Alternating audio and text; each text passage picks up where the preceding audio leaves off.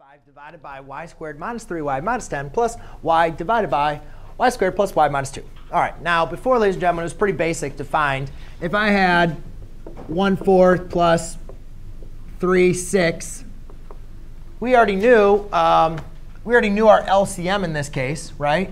We knew the LCM is going to equal 12. That one's pretty basic, right? And even when we added a squared and a to the fifth, you could say, all right, well, the LCM is a to the fifth. It's pretty basic when you just have numbers and variables that are multiplied by each other, right? You just say, you pretty much just take what is the largest number that you multiply to get your numbers, that's part of your LCM. And what is the largest exponent, and that's your LCM, that's part of your LCM, right? So, but now we're coming to a problem where we have a trinomial and another trinomial. So we could, to find the LCM, we could say, that's part of your LCM and that's part of your LCM and multiply them. Or that might re re reduce some redundancy because the LCM in this case is 12. But you could also say a common multiple would also be, um, you could look at 24, right? If you multiply them, it would be 24. But that's not the least common multiple. We always want to use the least common multiple so you don't have to simplify at a later time. So what I'm going to do is I want to see, can I factor these out? All right, whenever you guys see a trinomial or even a binomial, see if you can look and work on some factoring.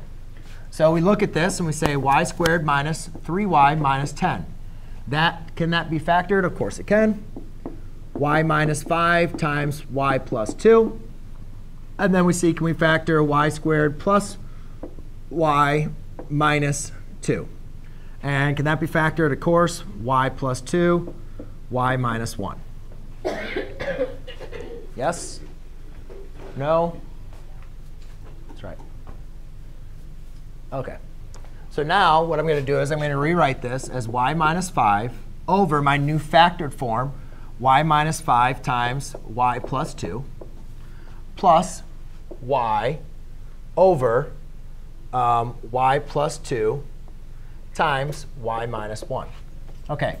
So now, as I go and write my LCM, so now I wrote it down and I factored each term. So now when I go and write my LCM, what does my LCM have to contain?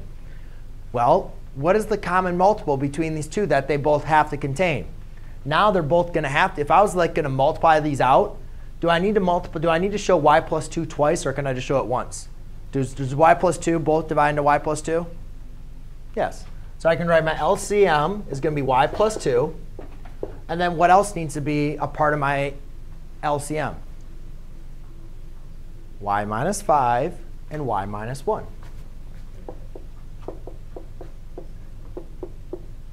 So ladies and gentlemen, my LCM is you could see if I were to multiply both of these by each other, I would have a redundancy of y plus 2. But now when I factor them out, I notice that my LCM needs to only contain y plus 2, y minus 1, and y minus 5. So now I need to look at it and say, what do I need to multiply each term by to get it to that LCM?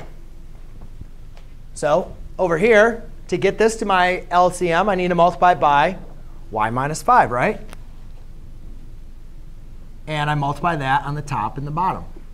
Over here, to get it to my LCM, I need to multiply by y minus 1.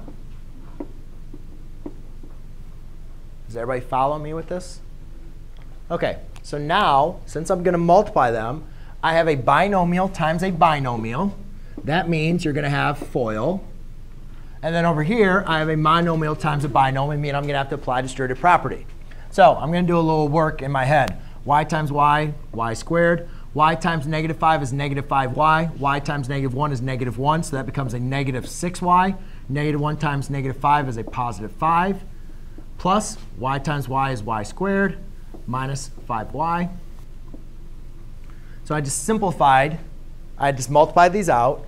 And then I take them over my LCM, or common denominator,